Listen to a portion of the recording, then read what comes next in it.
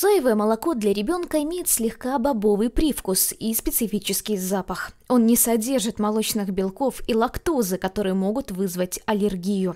В нем содержится больше всего белка и кальция среди растительного молока.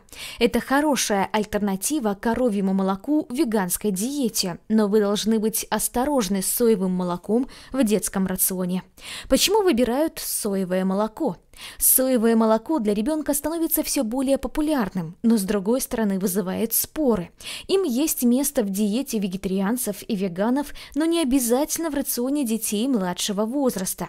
Вам также следует следить за количеством потребляемых соевых продуктов, поскольку избыток соевых продуктов может отрицательно сказаться на вашем здоровье. Особого внимания требуют люди с заболеваниями щитовидной железы и те, кто пытается забеременеть.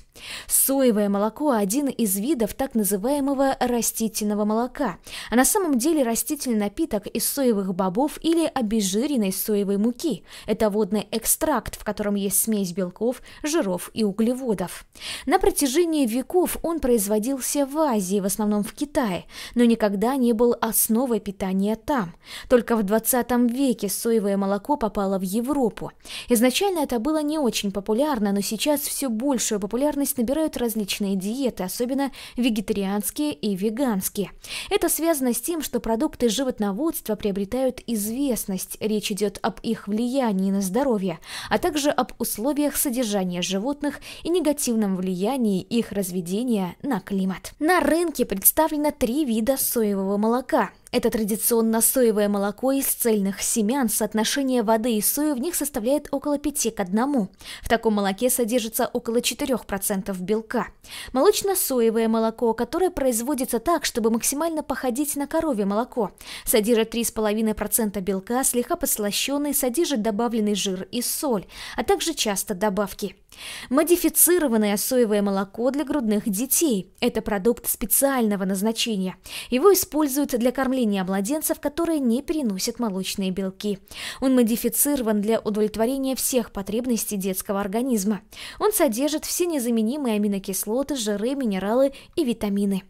Не существует правил, регулирующих состав соевого молока, поэтому его пищевая ценность и состав варьируются от производителя к производителю. Это значит, что стоит читать этикетки продуктов и сравнивать их между собой. На рынке доступно подслащенное несладкое соевое молоко, обогащенное кальцием и витаминами, в основном витамином D и А, и не обогащенное этими ингредиентами. Необогащенное соевое молоко – хороший источник фолиевой кислоты кислоты и калия. Он также содержит много витамина В12, но он плохо усваивается организмом человека из растительных источников, а также из соевого молока. Примерный состав различного соевого молока.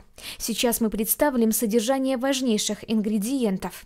Обогащенное соевое молоко без сахара, белок 7 граммов, углеводы 4, жиры 4, витамина D нет данных, фолиевая кислота 24,3 микрограмма, кальций 299 миллиграммов, калорийность 80 килокалорий. Соевое молоко, полезно ли оно для здоровья? На этот вопрос нет однозначного ответа. В рационе взрослых людей, не страдающих аллергией, есть место для соевого молока. И, возможно, также в рационе детей до 5 лет, но только без сахара.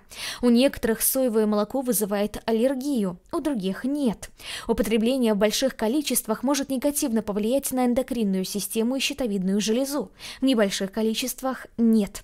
Людям с заболеваниями щитовидной железы следует избегать соевых продуктов. Здоровым не обязательно. Итак, все зависит от возраста и количества соевого молока, которое кто-то пьет, типа напитка и состояния здоровья человека.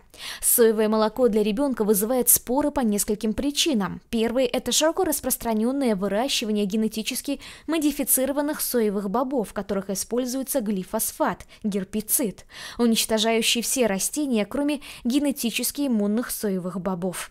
В настоящее время до 90 90% мировое производство сои – это ГМО-культуры. И хотя ученые согласны с тем, что одна только генетическая модификация не влияет на здоровье человека, использование глифосфата, остатки которого могут оставаться в семенах, все еще обсуждается.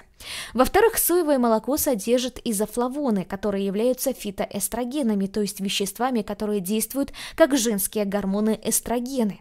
В случае большого потребления сои продуктов из нее могут возникнуть гормональные нарушения, нарушения работы щитовидной железы, когда она не работает должным образом. При чрезмерном потреблении изофлавоны влияют на мужскую фертильность, могут ускорить половое созревание женщин и препятствовать созреванию мужчин. Однако мы подчеркиваем, только высокое потребление соевых продуктов может иметь такой эффект. Ежедневное употребление стакана соевого молока никак не повлияет на эндокринную систему человека. Другое дело, что соя может вызывать аллергию. Поэтому все соевые продукты, в том числе молоко, следует вводить в рацион постепенно и проверять на наличие аллергии. И многие виды соевого молока подслащены, чтобы сделать его вкуснее.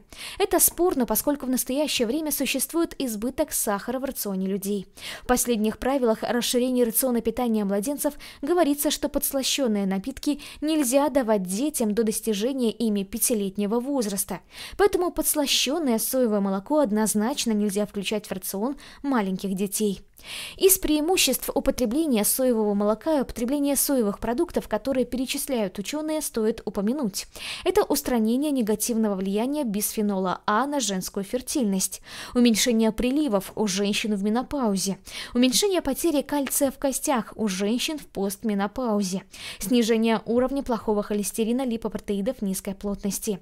Потребление сои в детстве немного снижает риск рака груди во взрослом возрасте. Некоторые врачи считают, что использование модифицированного соевого молока должно быть только при учете следующих факторов. Это возраст ребенка старше 6 месяцев, легкая аллергия на белки коровьего молока без поражения кишечника, нет аллергии на другие продукты и подтвержденная иммуноглобулиноезависимая аллергия.